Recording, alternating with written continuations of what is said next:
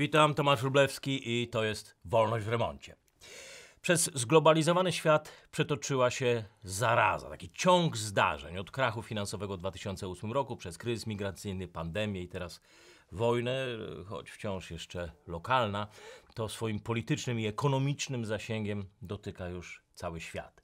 Wojna wciąż trwa, ale świat zaczął się już układać, przymierza się do nowego globalnego ładu, nowego porządku geopolitycznego, ekonomicznego, monetarnego, nowych zasad cyfrowej komunikacji, relokacji uchodźców, nowego rynku pracy, nowego systemu edukacji.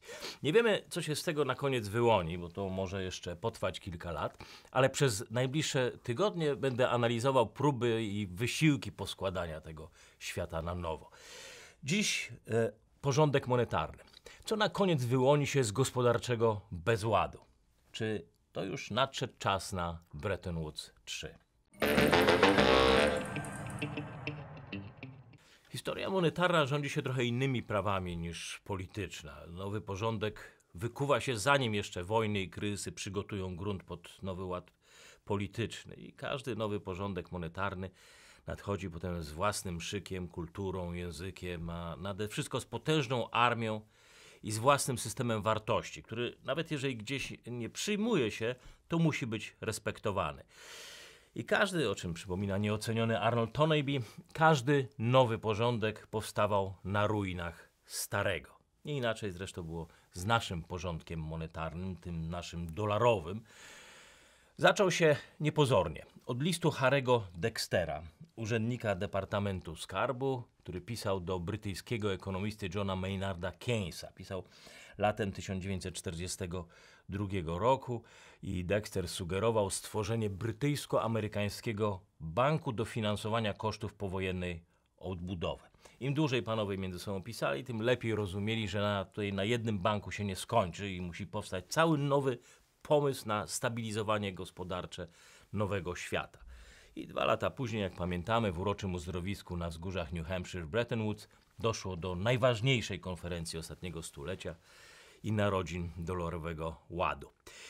Epoka holenderskiego Guldena też rodziła się niepozornie. U zarania XVI wieku w obskurnych spichlerzach gdzieś pod Amsterdamem merchanci zastanawiali się, jak stworzyć pieniądz, który będzie odporny na wahania fałszerstw niemieckich monet. Pieniądz, który powoli płynnie wymieniać nadwyżki polskiego zboża na nadwyżki portugalskiego złota. Początki tej nowożytnej epoki pieniądza genialnie opisał Jonathan e, Scott.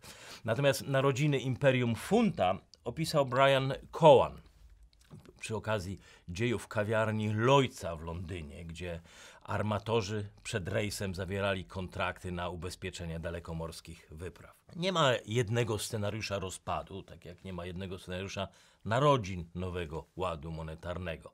Stąd też nie wiemy, czy zamrożenie rosyjskich rezerw walutowych to już jest ten moment, czy to jeszcze nie to zdarzenie. Co ostatecznie sprawi, że rozpryśnie się stary ład. Może wojna energetyczna, głód w Afryce, rosnące ceny amerykańskiego długu, inflacja. Tak czy owak, Zoltan Poczar sądzi, że ten moment jest już blisko, nadchodzi. Może już nawet nadszedł.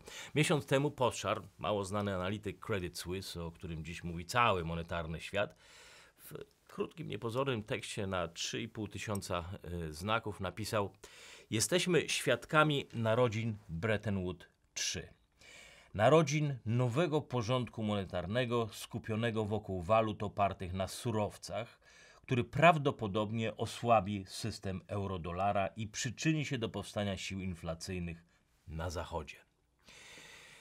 Dwa tygodnie później amerykańska sekretarz skarbu Janet Yellen nakreśliła swoją wizję nowego ładu monetarnego, gdzie dolar miałby dalej spinać rynki, ale już tylko państw opartych na zachodnich wartościach.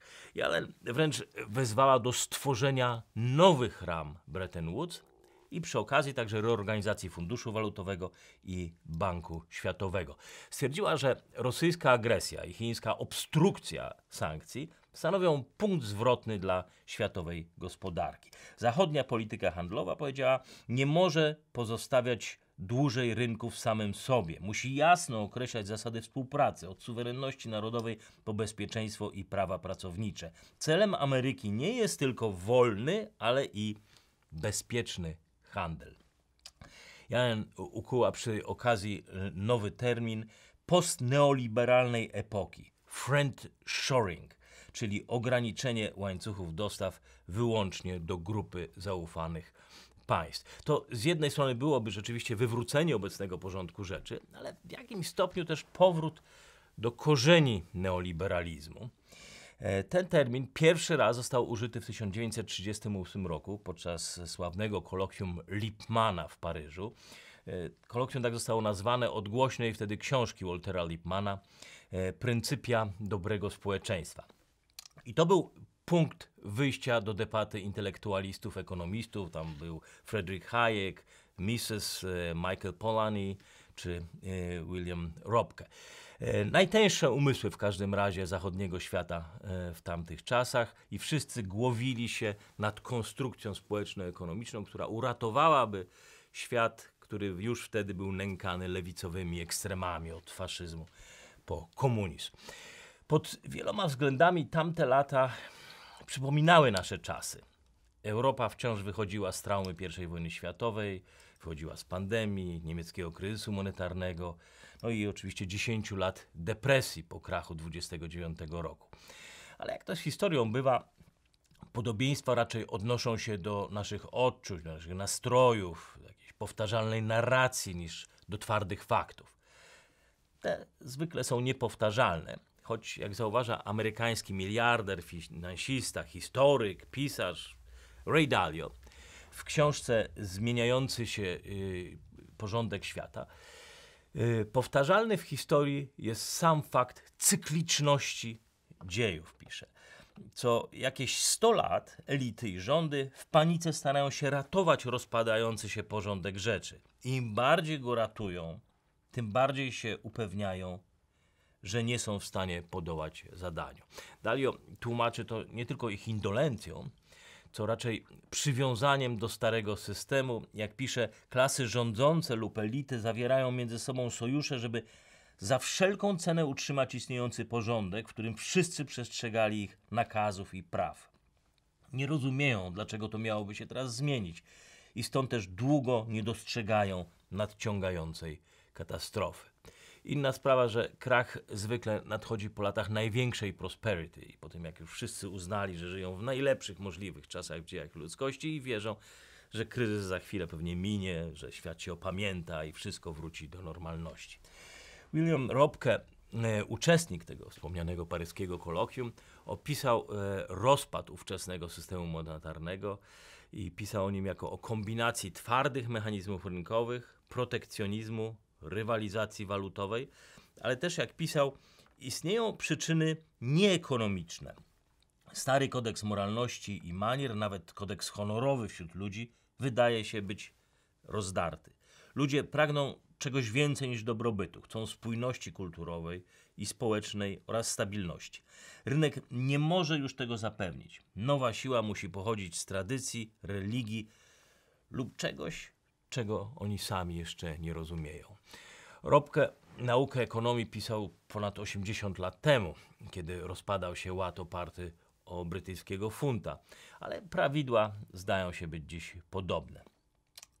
Niezależnie od tego, co poruszy lawinę, jak głęboki będzie ten krach, rząd, monarcha po pierwszym poważnym wstrząsie zwykle stara się ratować swoje imperium. To jest priorytet. Czy to będzie inwestował w armię, żeby odzyskać utracone ziemie, może w okręty, żeby odzyskać dawne kolonie, czy w świadczenia socjalne, żeby przywrócić w państwie obiecany dobrobyt i zaufanie społeczne. Rzecz w tym, że zwykle ten gasmon, gasnący hegemon nie ma już na to pieniędzy, nie stać go na to. Kryzys, zaraza, wojny, wszystko to sprawia, że gwałtownie kurczą się wpływy z podatków i władca, żeby trwać, musi pożyczać. Im większy zaciąga dług, tym słabsza staje się jego waluta, co oznacza, że musi na gwałt drukować pieniądze. Zanim banki centralne uruchomią swoje maszyny drukarskie, zwykle rządy skupują z rynku złoto, papiery wartościowe, surowce, zakładają, że ich wymienna wartość będzie rosła wraz z postępującą inflacją, a inflacja będzie rosła dlatego, że będzie coraz więcej pieniądza na rynku. Mieliśmy z tym do czynienia w 2008 roku, kiedy rządy przygotowywały się do wyjścia z kryzysu finansowego. Potem mieliśmy tego przykład w 2020, kiedy pożyczały pieniądze po wybuchu pandemii. Pożyczały i skupowały, żeby potem drukować i sprzedawać zakupione wartości. E, Na naszą lokalną skalę pamiętamy, że kiedy prezes NBP kupował złoto, a potem drukował, drukował, drukował i teraz walczy z inflacją. Ten sam patent tak naprawdę od co najmniej 500 lat.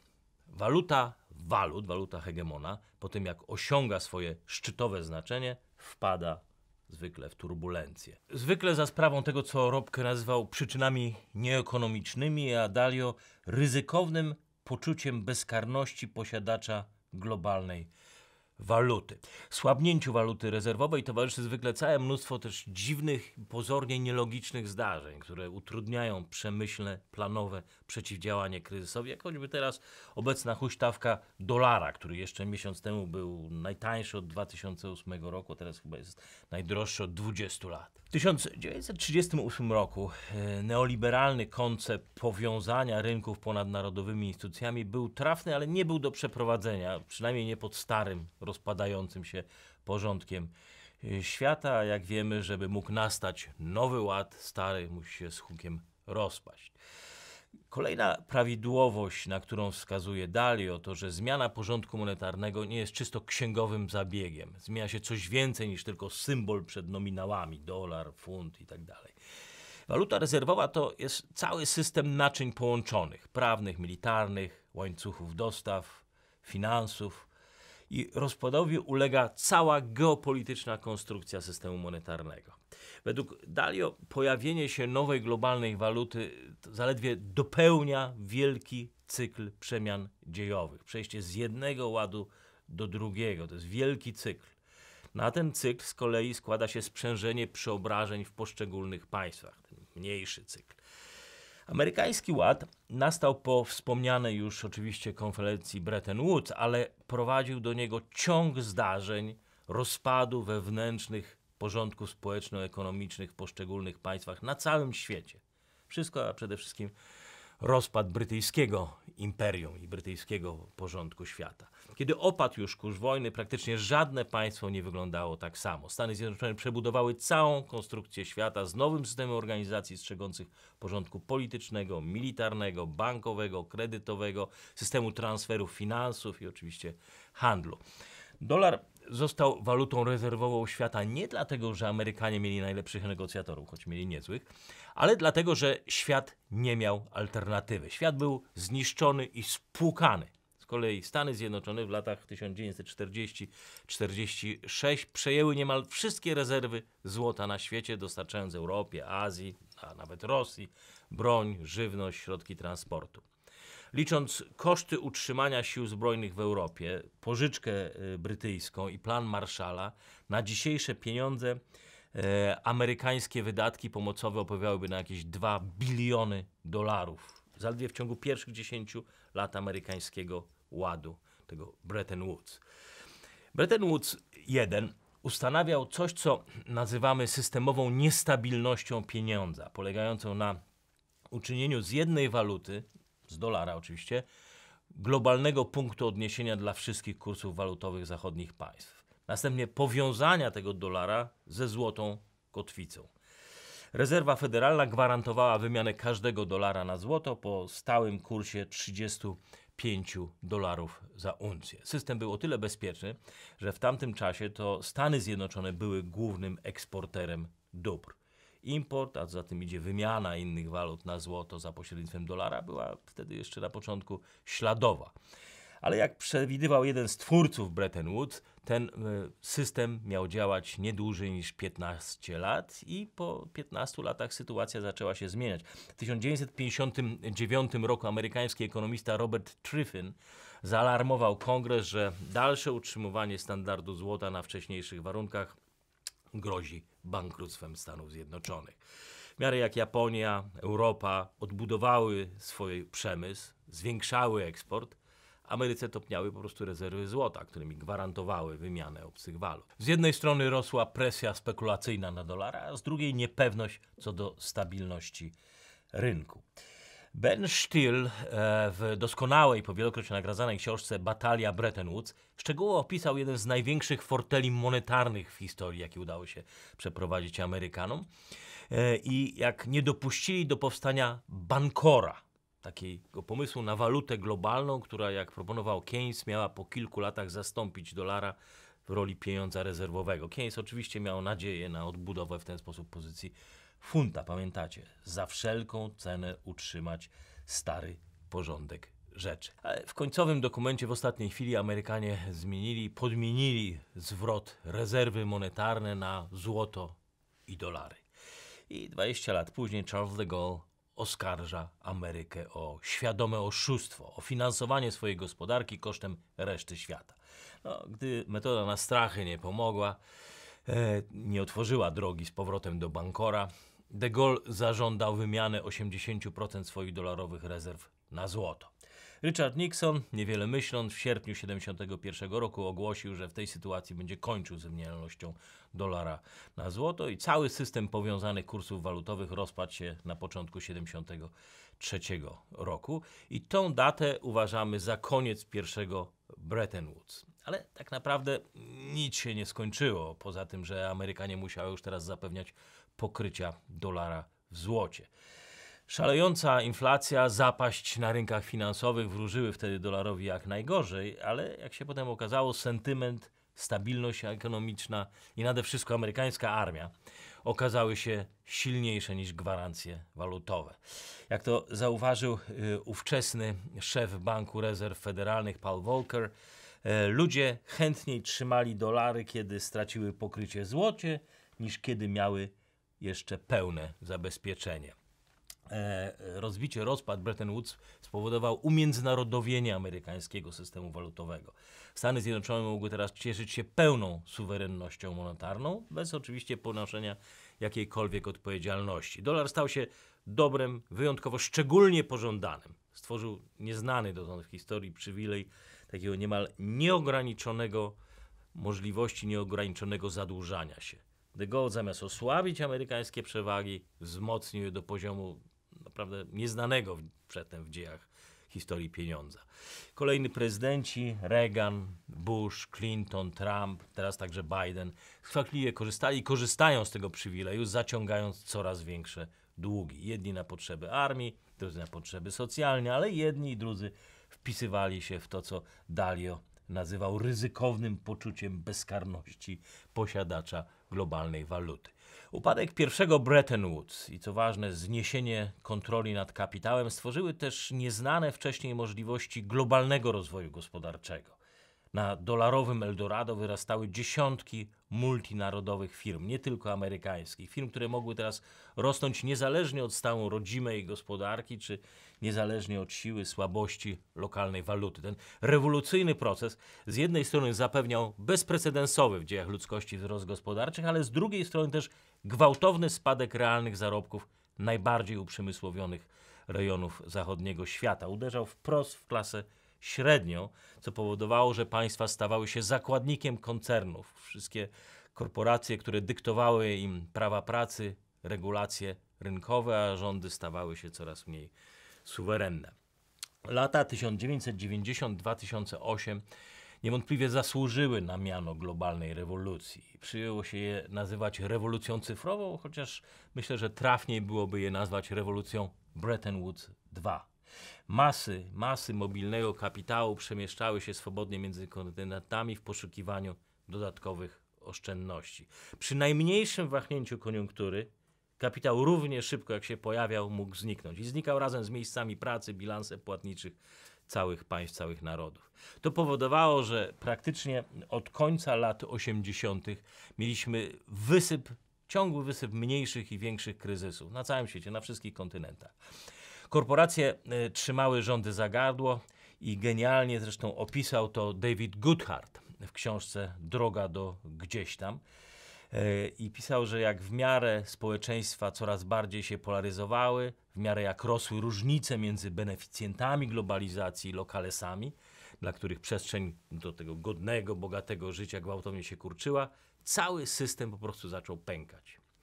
Inny autor, Michael Sullivan, e, w książce The Leveling, e, książka chyba wyszła dwa lata temu, jeszcze przed pandemią, ale już wtedy ostrzegał, Globalizacja się skończyła, pisał, żyjemy gdzieś pomiędzy starym a przyszłym systemem geopolitycznym. Niektórzy bardziej nawet przeczekują, tkwią niż żyją.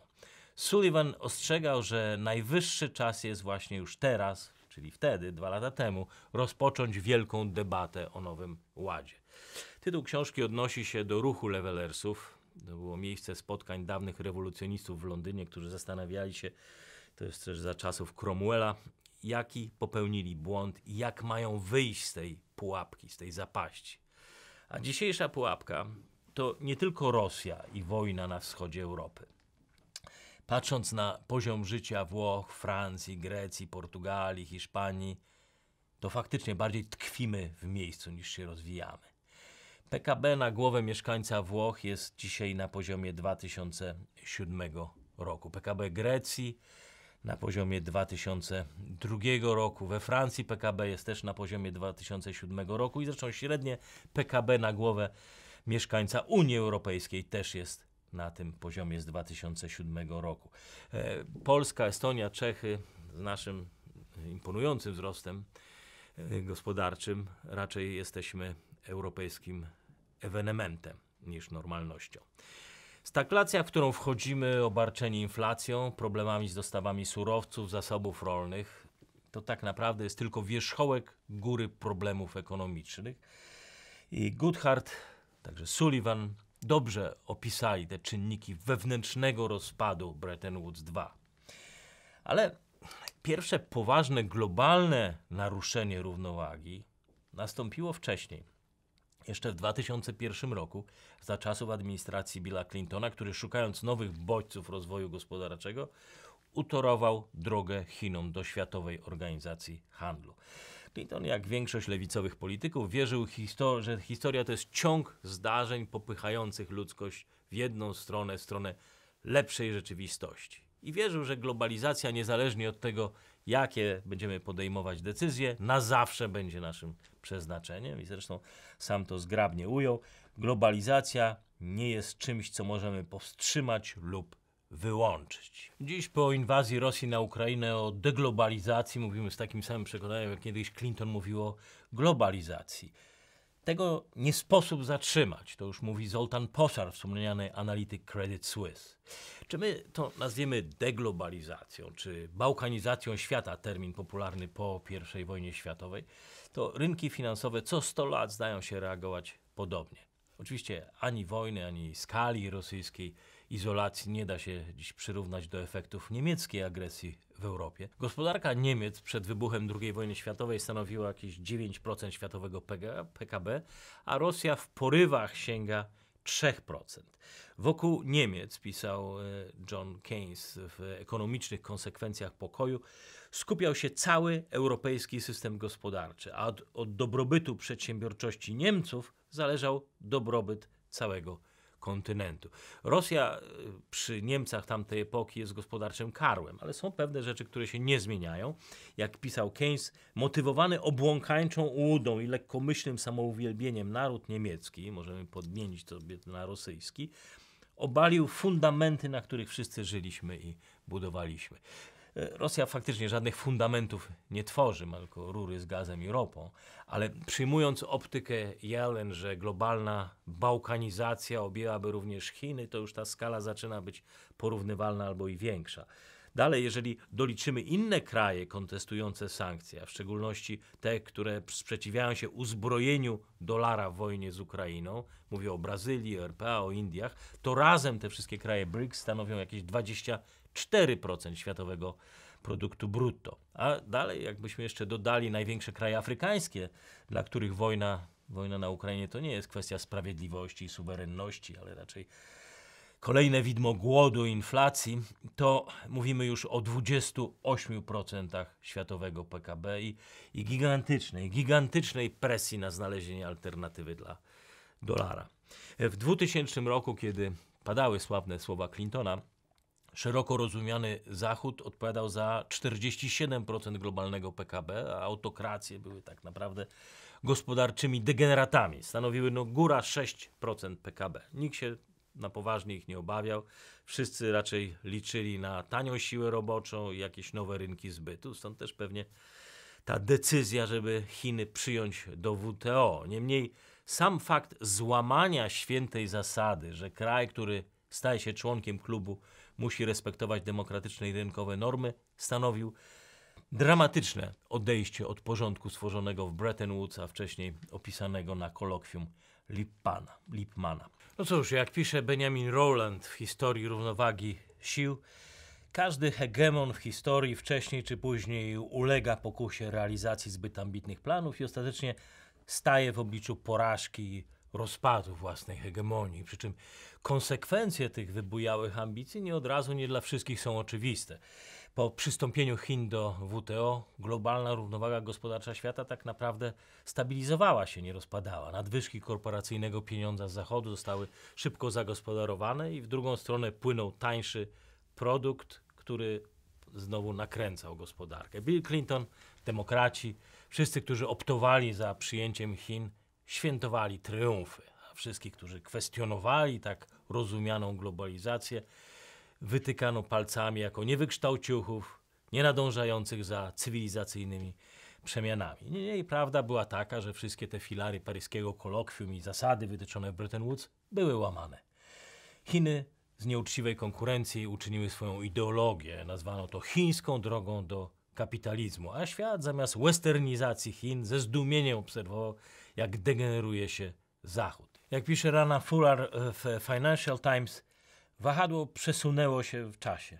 Kraje o skrajnie różnych uwarunkowaniach politycznych, gospodarczych, a nawet moralnych nie grają już według tych samych globalnych reguł. Peter Schweitzer w książce Złapani za rękę bardzo obrazowo opisuje, jak e, zachodnie elity, które nalegały na specjalne przywileje dla Chin, same się bogacąc, demolowały zachodni system wartości. Ta demaskatorska książka pokazuje historię amerykańskich środowisk akademickich, producentów filmowych, wielkich korporacji, giełdowych inwestorów, aż po najbliższe otoczenie i rodzinę obecnego prezydenta Bidena, który, który też dorobił się pokaźnej fortuny, rozmontowując mechanizmy demokratycznej kontroli handlu. Schweitzer pisze o elite capture. Termin zaczerpnięty jest z nomenklatury wywiadowczej, czyli taki wyższy poziom infiltracji, który oznacza przejęcie kontroli już nie tylko nad poszczególnymi osobami, ale nad ideologią państwa ideologią elit. Ten sam proces oczywiście odbywał się po obu stronach Atlantyku. Niemieckie, francuskie elity, tak jak amerykańskie, zafascynowane tymi możliwościami, jakie dawał handel z Rosją, czy też z Rosją i Chinami, wywierały presję na swoje rządy, pomagały w korumpowaniu byłych premierów, kanclerzy, ministrów, a za ich sprawą rozmontowywaniu niemal tego stuletniego neoliberalnego konceptu leżącego u podnóża dolarowego porządku monetarnego. Zoltan Poszar uważa, że obecna wojna jest dopełnieniem pewnego procesu. E, jak świat światem pisze, globalne wojny zawsze wywracały globalne waluty. I wojny też były akuszerkami wszystkich nowych systemów monetarnych w dziejach. Oczywiście pozostaje pytanie, czy wojna o Ukrainę wypełnia definicję globalnej wojny. Rosyjska propaganda powtarza to od dobrych kilku tygodni, że wojnę prowadzi z całym NATO, a nie tylko z Ukrainą. Oczywiście technicznie Zachód nie uczestniczy w działaniach zbrojnych. Jeżeli jednak mierzyć skalę tej wojny mobilizacją monetarną i militaryzacją dolara, no to mówimy już o wojnie globalnej, o pełnej monetarnej konfrontacji, dezintegracji politycznej. Dlatego też mm, według Poszara już przyszedł czas na nowe Bretton Woods 3. I należy w jakiś sposób zaadresować rozbład polityczny i wszystkie związane z tym niepewności rynkowe. Zarówno te braki surowcowe, towarowe, e, groźbę głodu, jak i wcześniejsze już w pandemii poszarpane łańcuchy dostaw. Nowy system, twierdzi Poszar, powinien być powrotem do pieniądza towarowego. Siłą napędową może być chociażby chiński yuan, a oparciem będzie już nie złoto, nie zaufanie do państw, którego dawno już nie mamy, zdewaluowało się, ale towar. Towar, który stał się najbardziej pożądaną walutą współczesnego świata. Mamy braki towarowe wszędzie i tutaj rozumiem nie tylko ulotny gaz rosyjski, ale także twarde chipy komputerowe.